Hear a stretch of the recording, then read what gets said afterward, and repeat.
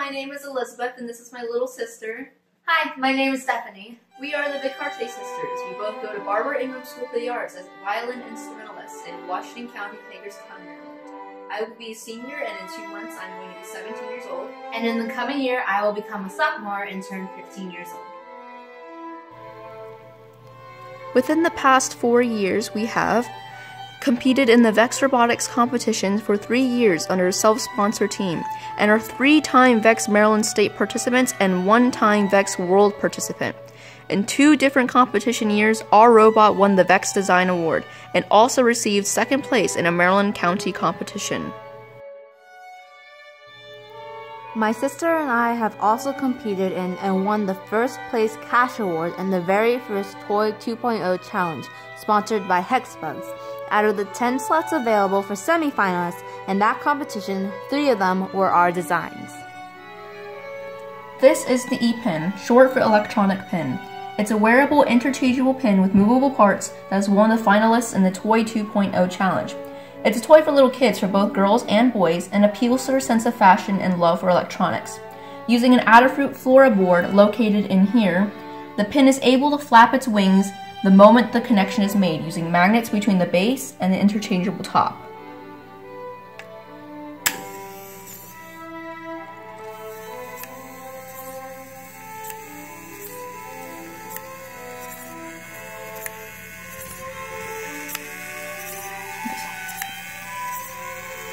This is the electronic plant. It is an interactive toy with an LCD screen that was one of the finalists in the Toy 2.0 challenge. It is a toy for little kids that was designed to be an interactive, friendly bot capable of playing games. Using an Arduino Uno, multiple touch sensors, and an LCD screen, the plant is capable of making faces and reacting to touches upon its petals. For example,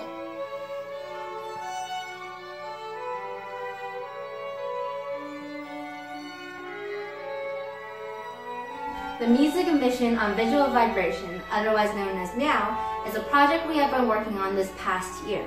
With the help of the Arduino 101, the Tiny Tile, and Bluetooth, we have created a prototype that responds to and represents music using RGB LED strips. The purpose of this project is to help those who are deaf or hard of hearing enjoy music through visual representation. This is our project we have four piezo vibration sensors attached to each string on the violin. And these are hooked up to a tiny tile which senses the intensity of vibrations that are caused when a violinist drags the bow across the four strings. The tiny tile, which controls the sensors on the violin, uses Bluetooth to connect to the Arduino 101, which is located near and controls the RGB LED strips. The tiny tile uses the latest Intel Curie contains a 6-axis gyroscope, and uses a 3.7 volt 500 milliampere battery to power it. As a side project, we have also attached a gyroscope to the frog of the bow to track the movement of the bow as it's being played.